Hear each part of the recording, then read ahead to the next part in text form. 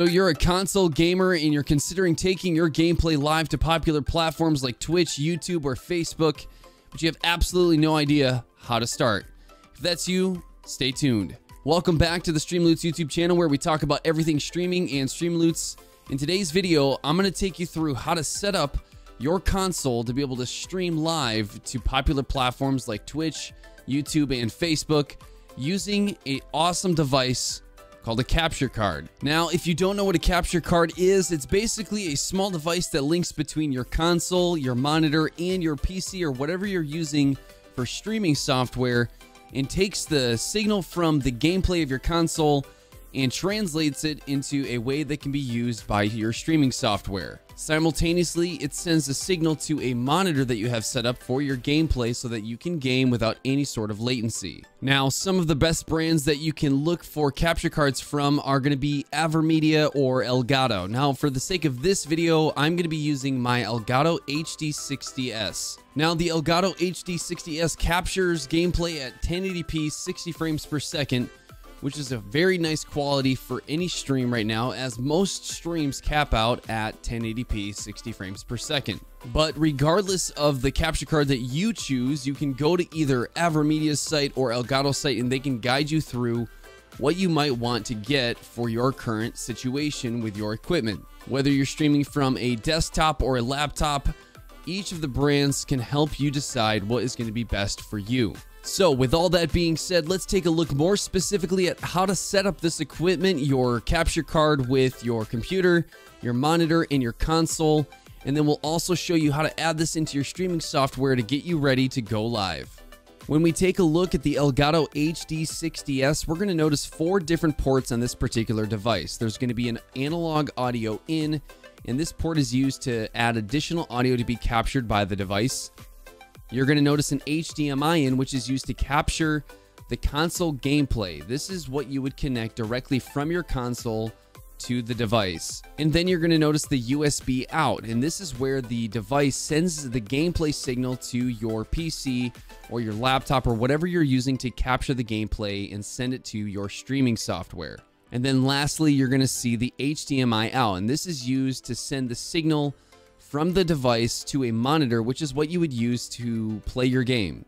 Once you've made all of the necessary connections between your capture card and your monitor, console, and PC, you can then begin to add it into your streaming software such as Streamlabs OBS as a video capture device.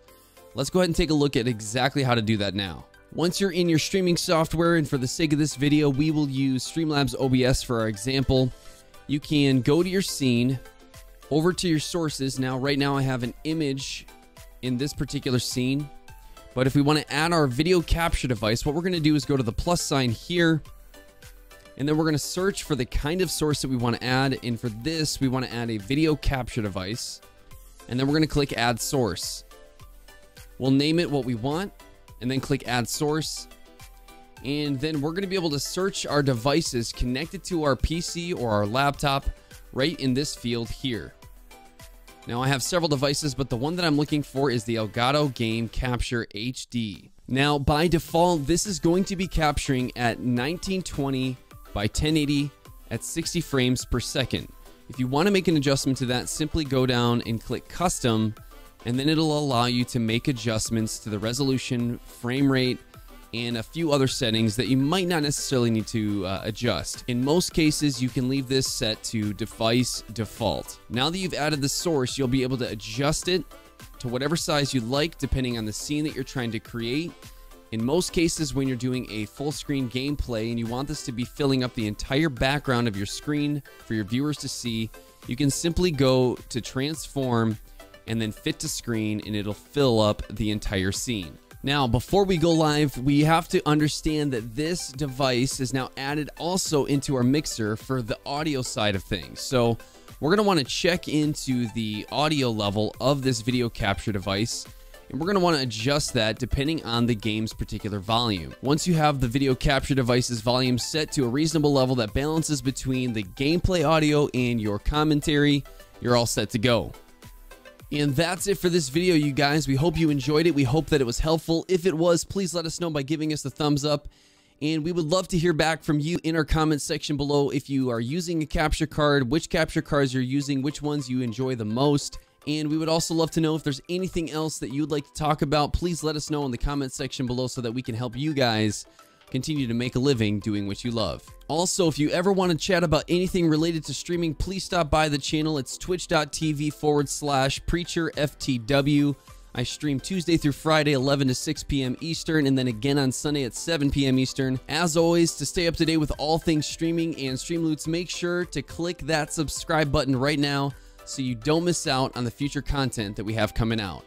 Thanks again, and we'll see you guys in the next video.